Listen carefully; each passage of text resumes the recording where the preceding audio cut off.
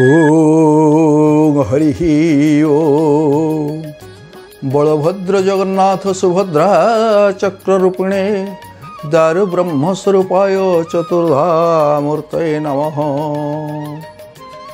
ଜୟ ଜଗନ୍ନାଥ ଆଜି ପବିତ୍ର ଚିତା ଲାଗି ଅମାବାସ୍ୟା ଚିତା ଲାଗି ଅମାବାସ୍ୟା ଏହି ପର୍ବ ଶ୍ରୀମନ୍ଦିରରେ ପ୍ରଭୁଙ୍କଠାରେ ସୁନ୍ଦର ଭାବରେ ପାଳିତ ହୁଏ ଆମ ପର୍ବପର୍ବାଣୀ ତରଫରୁ ଏହି ପର୍ବ ଉପଲକ୍ଷେ ଆପଣମାନଙ୍କୁ ସର୍ବାନ୍ତକରଣରେ ସ୍ୱାଗତ କରୁଛୁ।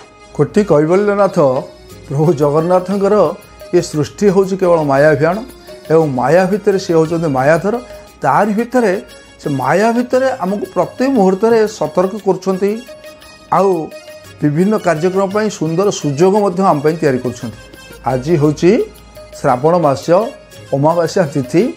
ଏହି ଦିନ ପ୍ରଭୁଙ୍କର ଚିତା ଲାଗି ଅମାବାସ୍ୟା। ଏ ଚିତା ଲାଗି ଅମାବାସ୍ୟା କାହିଁକି ହେଉଛି? ଗୋଟେ ହେଉଛି ଚିତା ଲାଗି ତା ପୂର୍ବରୁ ଥିଲା ଚିତା ଉଲାଗି ଉଲାଗି ହେଇଥିଲେ ଲାଗି ହେବ। ଆମର ପ୍ରଭୁ ହେଉଛନ୍ତି ଅଳଙ୍କାର ପ୍ରିୟ। ଯେମିତି ଶିବ ହେଉଛନ୍ତି ଜଳଧାର ପ୍ରିୟ। ଗଣେଶ ହେଉଛନ୍ତି ମୋଦକ ପ୍ରିୟ। ଆଉ ସୂର୍ଯ୍ୟ ହେଉଛନ୍ତି ନମସ୍କାର ପ୍ରିୟ। ଆମର ପ୍ରଭୁ ଜଗନ୍ନାଥ ହେଉଛନ୍ତି ଅଳଙ୍କାର ପ୍ରିୟ। ଏ ଅଳଙ୍କାର ପ୍ରିୟ ପ୍ରଭୁଙ୍କ ପାଖରୁ ଚିତା ଗଲା କୁଆଡ଼େ? ଚିତା ଯାଇଥିଲା ସେଇଦିନ ଯେଉଁଦିନ ପ୍ରଭୁ ଯେ ଅଣସର ପିଣ୍ଡିରେ ବିଜେ କରିଥିଲେ ସ୍ନାନ କରିସାରିବା ପରେ ଅଣସର ପିଣ୍ଡିରେ ବିଜେ କରିଥିଲେ ସେହିଦିନ ପ୍ରଭୁଙ୍କ ପାଖରୁ ଯେ ରାହୁରେଖା ଏବଂ ଚିତା ଉଲ୍ଲାଗି କରାଯାଇଥିଲା। ଅଣସର ପିଣ୍ଡିରେ ତ ପ୍ରଭୁ ରହିବେ ପ୍ରଭୁଙ୍କର ସେବା ଯତ୍ନ ହେବ ପୀଡ଼ିତ ହୋଇଛନ୍ତି ତେଣୁ ଏଇ ଭିତରେ ପ୍ରଭୁଙ୍କର ଏଇ ନୀତି ଆମକୁ ଗୋଟେ ସୁନ୍ଦର ସୂଚନା ଦେଉଛି। ସେ ସୂଚନାଟି କ'ଣ?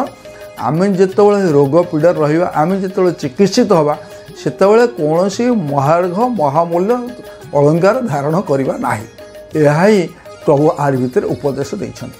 ବିଭିନ୍ନ ପୁରାଣ ଆଖ୍ୟାନରୁ ଯାହା ଜଣାଯାଏ ଶ୍ରାବଣ ପୂର୍ଣ୍ଣିମାରେ ଦେବତା ଏବଂ ରାକ୍ଷସମାନଙ୍କର ଯେଉଁ ସଂଗ୍ରାମ ଚାଲିଥିଲା ସେହି ସଂଗ୍ରାମ ଭିତରୁ ରତ୍ନଗର୍ଭା ରତ୍ନାଗର ଭିତରୁ ଆବିର୍ଭୂତ ହୋଇଥିଲେ ଐରାବତ କୁଚିଶ୍ରବା ଏବଂ ଅନେକ ରତ୍ନ। ଇନ୍ଦ୍ର ତ ହେଉଛନ୍ତି ଦେବତାମାନଙ୍କର ରାଜା। ସେ ଉଚ୍ଚେଶ୍ରବା ଐରାବତକୁ ନେଇଗଲେ ଏବଂ ପ୍ରଭୁ ଭଗବାନ ବିଷ୍ଣୁଙ୍କ ପାଖରେ ପଡ଼ିଲା ବିଭିନ୍ନ ପ୍ରକାର ମହାମୂଲ୍ୟ ରତ୍ନ ଏବଂ ଯାହା ଜଣାପଡ଼େ। ପୁରାଣରୁ ଏବଂ ଅନ୍ୟାନ୍ୟ ଶାସ୍ତ୍ରୀୟ ଆଧାରରୁ ଯାହା ଜଣାପଡ଼େ ଶ୍ରାବଣ ମାସରେ ରତ୍ନ ଧାରଣ କରିବେ ଅତ୍ୟନ୍ତ ସୌଭାଗ୍ୟ ବୃଦ୍ଧି ହୁଏ। ଏହି ଘଟଣାଟା ଯୋଗୁଁ ଯେ ଶ୍ରାବଣ ମାସରେ ରତ୍ନ ଧାରଣ କରାଯାଏ। ଆମର ପ୍ରଭୁଙ୍କ ପାଖରେ ଯେ ଯେଉଁ ଚିତା ଲାଗିଛି ପ୍ରଭୁ ଜଗନ୍ନାଥଙ୍କ ପାଖରେ ଲାଗିଛି ହୀରାର ଚିତା ବଡ଼ ଠାକୁର ବଳଦେବଙ୍କ ପାଖରେ ଲାଗିଛି ନୀଳା ଚିତା ମା ସୁଭଦ୍ରାଙ୍କ ଅବତାର ଲାଗିଛି ମାଣିକ୍ୟର ଚିତା। ଏ ଚିତା ସେଇ ଅଣସର ପିଣ୍ଡିରେ ଉଲ୍ଲାଗି ହେଇଥିଲା ଏବଂ ପ୍ରଭୁ ରଥଯାତ୍ରାରେ ଗଲେ ନବଦିନାତ୍ମକ ଯାତ୍ରାରେ ଗଲେ ଗୁଣ୍ଡିଚା ମଣ୍ଡପରେ ବିଜେ କଲେ ବିଜେ ହିଁ ଆସିବା ଫେରନ୍ତା ଯାତ୍ରାରେ ସେ ଆସି ଶ୍ରୀମ ଶ୍ରୀମନ୍ଦିର ସାମ୍ନାରେ ରହିଲେ ରଥରେ ସୁନାବେଶ ହେଲେ କିନ୍ତୁ ସେଦିନ ପର୍ଯ୍ୟନ୍ତ ତାଙ୍କର ଚିତା ଲାଗି ହେଇନଥିଲା ତାହେଲେ ପ୍ରଭୁଙ୍କର ମଥାରେ କେଉଁ ଚିତା ଲାଗିଥିଲା ନା ସ୍ନାନ ଯାତ୍ରା ପରେ ଯେତେବେଳେ ଅଣସର ପିଣ୍ଡିରେ ପ୍ରଭୁ ରହିଲେ ସେତେବେଳେ ତାଙ୍କୁ ଷୋଲର ଚିତା ଲାଗି କରାଯାଇଥିଲା ଏବଂ ଷୋଲ ଚିତା ଲାଗି ହେଇକରି ସେ ଆଜି ପର୍ଯ୍ୟନ୍ତ ଥିଲେ ଆଜି ପବିତ୍ର ଶ୍ରାବଣ ମାସ ଅମାବାସ୍ୟା ତିଥିରେ ପ୍ରଭୁଙ୍କ ପାଖରେ ତାଙ୍କର ପୌଦାର ଏବଂ ଭଣିଆ ସେବକମାନେ ତାଙ୍କର ଯେଉଁ ଚିତା ଥିଲା ହୀରା ନୀଳା ଏବଂ ମାଣିକ୍ୟ ଚିତା ସେହି ଚିତାକୁ ଆଜି ଲାଗି କରାଇଛନ୍ତି।